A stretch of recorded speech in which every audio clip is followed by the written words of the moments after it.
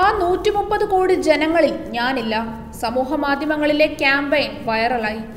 അയോധ്യയിൽ രാമക്ഷേത്ര നിർമ്മാണവുമായി ബന്ധപ്പെട്ട് നടന്ന ശിലാസ്ഥാപന ചടങ്ങിൽ പങ്കെടുത്ത് പ്രസംഗിക്കവേ രാജ്യത്തെ നൂറ്റി മുപ്പത് കോടി ജനങ്ങളുടെ ആഗ്രഹമാണ് ഇന്ന് സഫലമായതെന്ന് പ്രധാനമന്ത്രി നരേന്ദ്രമോദി പ്രസംഗിച്ചിരുന്നു.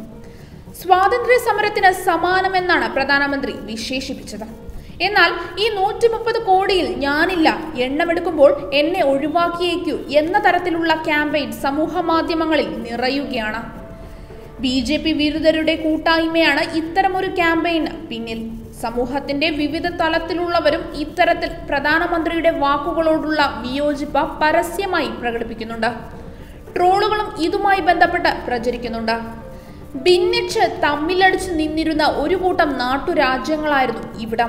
അതിൽ നിന്ന് അഹിംസയും നിസ്സഹകരണവും പ്രധാന ആയുധമാക്കി ഒരു ജനതയെ മുഴുവൻ കാലാകാലങ്ങളോളം ചൂഷണം ചെയ്തുകൊണ്ടിരുന്ന ഒരു വിദേശ രാജ്യത്തോട് പൊരുതി സ്വാതന്ത്ര്യത്തിലേക്ക് ചുവടുവച്ചതിന് സമാനമാവുന്നത് എങ്ങനെയാണ് എന്ന് സത്യത്തിൽ മനസ്സിലാവുന്നില്ല. മറ്റുള്ളവയെ വച്ച് നോക്കുമ്പോൾ അതൊരു നിസ്സാര പ്രശ്നമാണ്. കോവിഡ് എന്ന പാൻഡമിക് ഇന്ത്യയിൽ നിന്ന് ഒൻപത് ലക്ഷം ഇരകളെ കണ്ടെത്തിയത് ഏതാണ്ട് ആറു മാസം കൊണ്ടായിരുന്നെങ്കിൽ അതിനുശേഷം വെറും മൂന്നാഴ്ച കഴിഞ്ഞപ്പോൾ പത്ത് ലക്ഷം കൂടി ചേർത്ത് കഴിഞ്ഞു. ഒരുപാട് കുഞ്ഞുങ്ങളെയും പ്രായമായവരെയും നേരിട്ട് ബാധിക്കുന്ന ഇപ്പോഴും പീക്കിലെത്തിയോ എന്ന് അറിയില്ലാത്ത ഒരു മഹാമാരി ഒരു വിഷയമേ അല്ല. അതെന്തുകൊണ്ടാണെന്ന് അറിയാൻ വിവിധ നേതാക്കളുടെ പ്രസ്താവനകളിലൂടെ ഒന്ന് കണ്ണോടിച്ചാൽ മതി.